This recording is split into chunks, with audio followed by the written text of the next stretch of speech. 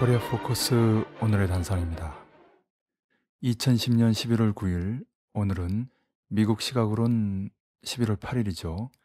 LA 앞바다 약 50km 지점에서 정체모를 SLBM 잠수함발 탄도미사일이 발사된 날입니다. 레이더상에 보이지 않는 스텔스 미사일이지만 지역 방송국 카메라에 잡히고 수많은 LA 주민들이 봤습니다. 과연 누가 이 미사일을 발사했겠는가? 일단 미국이 아닌 것은 그들 스스로가 부정하는 걸로도 확인되고요.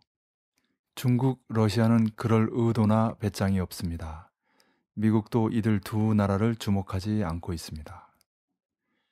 이 사건에 대한 가장 공인된 견해는 북 발사설입니다.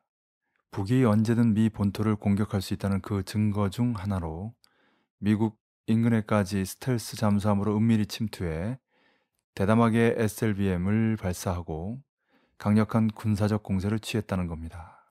이걸로 북이 이 SLBM에 슈퍼 EMP 초전자기파 핵탄을 실어서 미 서부 상공에 터트리면 적어도 미 서부가 암흑천지 아비규환으로 변한다는 걸 유대 자본과 미제 핵심들에게 확인시켜 준 셈입니다. 이로써 북이 ICBM 대륙간 미사일과 FOBS 위성탄두 말고도 또 다른 위력한 미 본토 핵 타격 수단을 가지고 있음이 확인됐습니다. 북이 올해 7.27 열병식에서 노골적으로 강조한 핵배낭까지 합치면 총 4가지의 미 본토 타격 수단을 가지고 있는 것입니다. 2010년은 3월 말에 백령도 섬 그늘에 웅크리고 있는 이스라엘 돌핀급 잠수함을 격침시키고 11월 말에는 연평도 전자 포격전을 벌인 해입니다. 이 연평도 사건이 벌어지기 직전에 발생한 사건이 바로 이 LA 앞바다 SLBM 발사 사건입니다.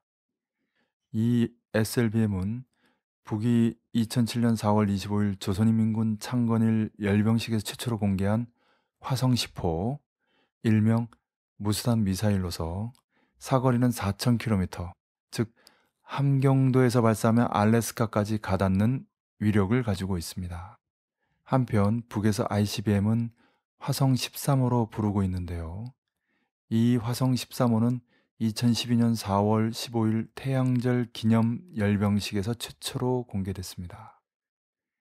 남의 보수 언론이 나무나 종이로 만들었다고 황당한 주장을 하는 바로 그 미사일이죠.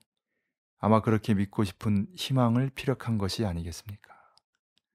북이 LA 인근까지 가서 대담하게 SLBM을 발사할 수 있다는 것은 잠수함이 핵 추진이고 스텔스 기능을 갖고 있다는 것이며 그 SLBM 자체도 스텔스화됐다는 것을 의미합니다. 또 언제든 미 본토를 이렇게 보복 공격할 수 있다는 걸 확실히 보여줍니다. 핵 잠수함은 언제 어디서든 선제 타격 또는 보복 타격할 수 있는 가장 위력한 무기입니다.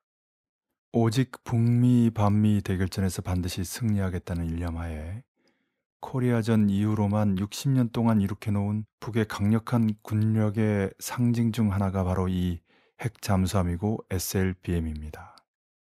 그리고 그 뒤로 어느새 3년이란 세월이 흘렀고 이제는 북이 북미 반미 대결전을 마무리하려 하고 있습니다. 오늘의 단상이었습니다.